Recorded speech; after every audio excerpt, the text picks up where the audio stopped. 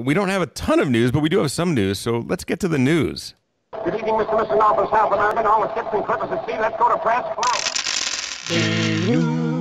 First thing up in game news is a Kickstarter. Four days to go now, so when you listen to this, you may only have a day or two more to go on it.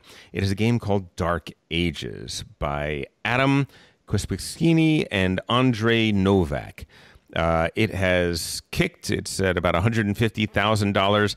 This is a game that Heavy Cardboard has done a sponsored uh, teach and playthrough, and uh, it looks kind of epic. It, it's sort of in, it's got a little bit of Euro feel, but a lot of it is big old Ameritrash, tons and tons of pieces, and the entire game has an eastern half and a western half. The Western Europe and the Central Europe. You're essentially playing Charlemagne or you're playing the Holy Roman Empire. And uh, takes place during the Dark Ages. Massive amount of, uh, uh, of miniatures. They are stunning, stunning miniatures. I, I can't believe how beautiful they are.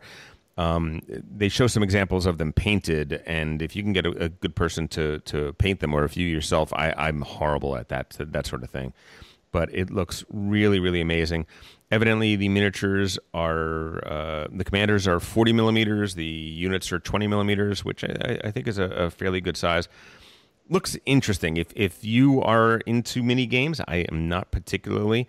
It looks like uh, 88 bucks, not counting shipping, will get you one of the two parts of the game. Basically, each one is a complete standalone game but you can play a massive, massive game if you have both of them, which of course is going to cost you 162 bucks at the at the starting level.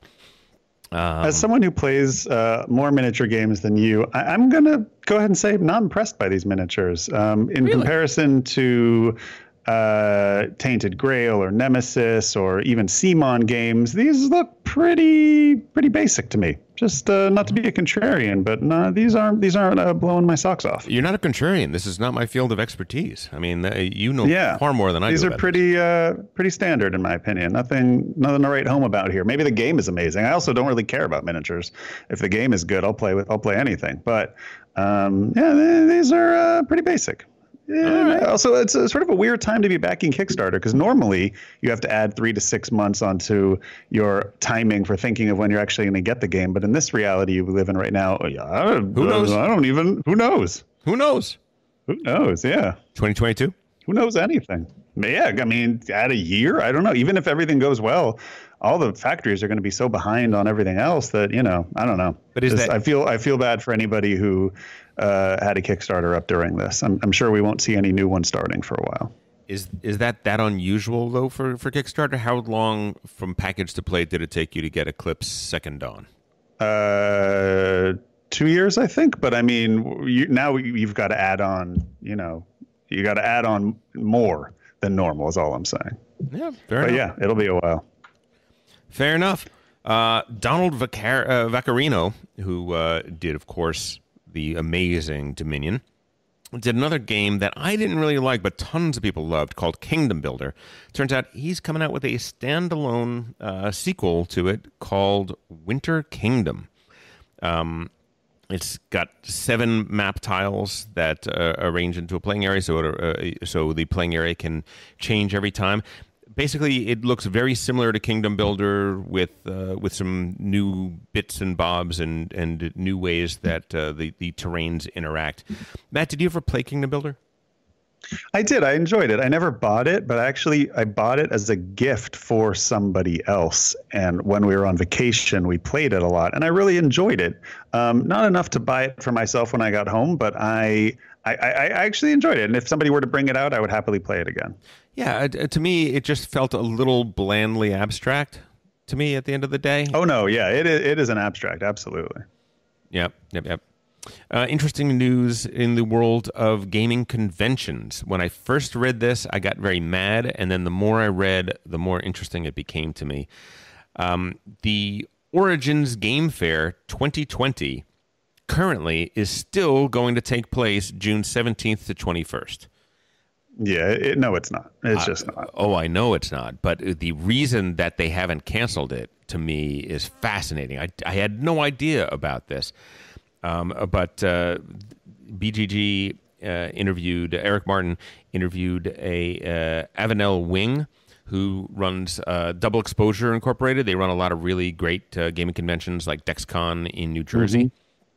And she said, "Yeah, I totally understand what this is. What it is is is if a gaming convention tries to cancel all of their creditors, the hotels, the you know everyone, all their vendors, everybody that they have dealt with, they cannot get their money back until there's always a force majeure part of the contract which says we're, we can only give you your money back if it is something that is that it is canceled because it's a state of emergency. It's uh, canceled because of this and the other thing. And as of yet, nothing in June has been written off by federal, Yeah. federal or state officials. So they so they would lose tons and tons of money if they don't wait until the proper you know X's have been crossed and and I's have been dotted um, which is uh, which which is Okay. sad. It's it's it's uh, I get it. I get it now. I'm like, well, okay. And by putting this article out and by explaining this kind of, i- i- it's kind of a wink and a nod saying officially we can't say we're going to cancel this, but don't count on coming to Origins. Uh, and the moment we're the moment we can cancel it without having to uh, to incur great cost, we will. So Yeah. Okay. Well, I don't blame them. no, no, I don't. I, I don't blame them. I, I, I, I frankly wish that the the the listen. I understand hotels are hurting bad right now. They are being crushed, and so they're trying to hang on to every last little little dime of money that's been uh, given to them ahead of time. I, I get that too, but uh, come on, everybody knows that that uh, we're not having a a, a massive, you know, tens of thousands of people convention in June. It's just not going to happen right now.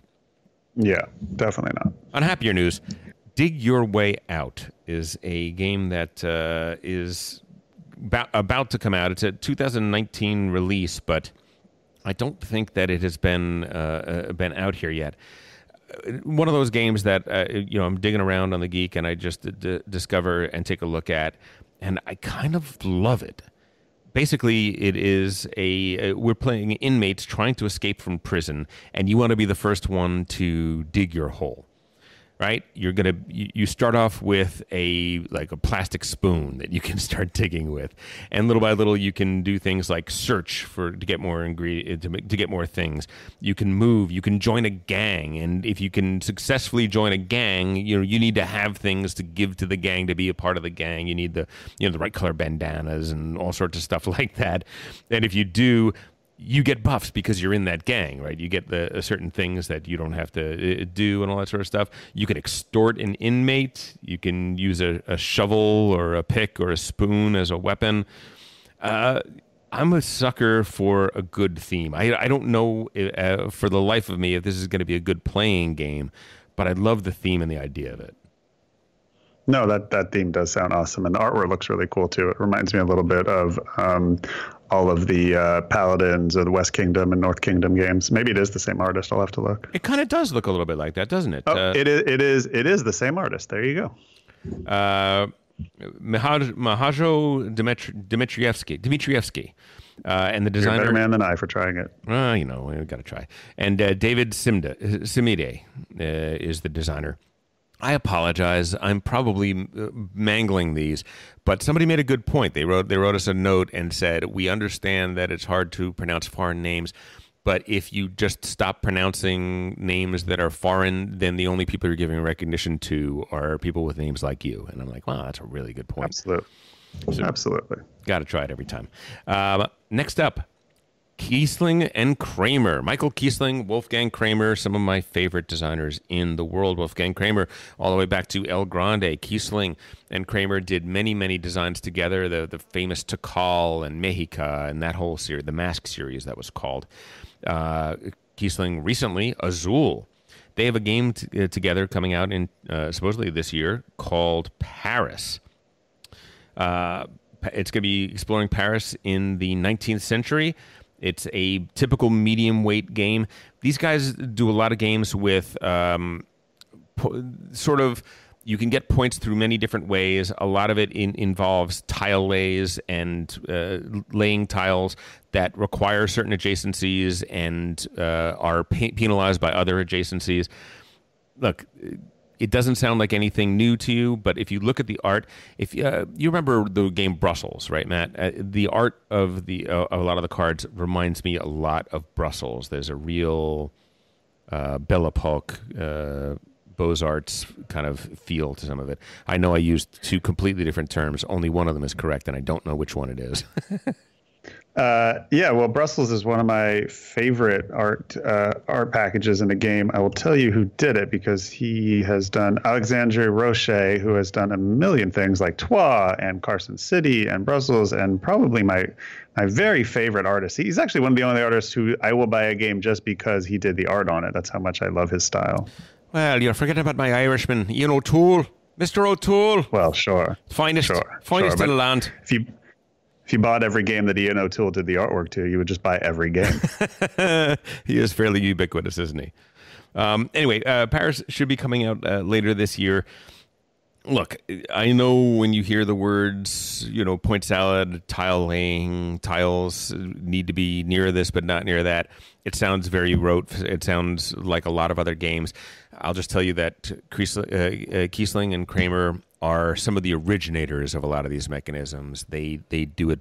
Uh, they tend to do it better than and than everybody else. So when it comes around, when you uh, have a chance to check it out, I recommend that you do. I'm quite excited for it. There was nothing you said there that is a deterrent to me, only an attractor. I am super in for all of it. Good, good, good, good, good. I don't know. When we were talking about uh, video game adaptations, did we mention last week that Wingspan is coming to Nintendo Switch? I don't think so, no. But I, I, did see that piece as well, and I think that is a uh, a great adap- a great place for it. There's a lot of great Switch games, uh, board games on Switch. You discussed some of them last week, but Wingspan. I mean, Wingspan just coming to anything other than tabletop simulator would be fantastic. Right, I totally agree. I totally agree. I, I mean, I think that that is, you know, it continues to be one of those games that thematically, it's just so fresh, so interesting, so rewarding and the, the, the rules are easy enough to understand, and yet the gameplay is not super super simple. It's got just enough complexity. It's got a little little meat on the bones, and, I, I, hope more people. I hope people sitting at home uh, during during this time uh, get out their switches and start checking this stuff out because it's really really cool. Well, it's not out yet, right? It's just heading there, hopefully sometime this year. Yes. Well, I'm hoping that. Oh, anticipated for spring, it says. That's yeah, right. There you go. But no formal date has been announced. No, but there are a lot of things that are uh, that are rushing forward, right? There are uh, movies that are, are coming out pretty much directly on Disney Plus and so on and so forth. Um, yeah, well, it depends how close it was to being finished. If it was not close to being finished, then it may not get finished until people can come back to work. But we'll see. Fair enough. Fair enough. And last but not least, a blow to all of our fans out there that were looking for that were looking for the uh, uh, what, what is the what are the initials? What are the initials, Matt? Oh, uh, uh, DA was that a district I, attorney? Uh, IDA. No, no, ADA, ADA, ADA, because it's the ADA, American American Attorney. Dental Association. Whenever I hear it, it's the American, it's the game of the um, the official game of the American Dental Association. ADA, Assistant District Attorney, the game that uh, Dimitri begged Trey to start making, and Trey is making it. Um, we were pointing out that there are so few uh, games about lawyers or the legal system. Coming out in 2021, Lawyer Up. Samuel Bailey and Mike Nade are going to be making this game. It is a two It's player on Kickstarter right now. That's Started right. four days ago. Yes, it did. Two player asymmetrical card game where they take opposing attorneys uh, against each other in a court case. It is a game of arguments, influence, and strategies. Looking at it on uh, uh, on Kickstarter, I don't know. I mean, it looks fine. It looks like a a, a, a card based game. There are a lot of symbols on the sides of the cards, which indicate you're you're doing a little bit of set collection. It, it doesn't look all that different than Magic the Gathering for courtrooms, right? Wouldn't you say? Yeah, from from what I gather, what Trey is doing, this has nothing to do with him, other than uh, than than a slight theme uh, similarity. But yeah, th- this is a two-player, sixty-minute card game. Uh, and it sounds interesting. And you know, it, this is obviously a cool theme, and we hope that uh, there are lots of cool lawyer games. But we but we trust that Trey's will be singular. Yes, except first to market, man. First to market. They're going to get. Yeah, but a two player a two player game is a very different market than you know a medium to heavyweight Euro. I, am just speaking out of my butt. I'm not sure exactly what Trey's designing, but I, I would assume it's at least a medium weight Euro that plays for to more than two players. Genius, genius. All right, that's all we got for the news. Hey, if you enjoyed that video, you very well might enjoy the other videos you now see being suggested to you on screen. Also, we'd greatly appreciate it if you could like, share, or subscribe to our Game Brain channel. Thanks so much.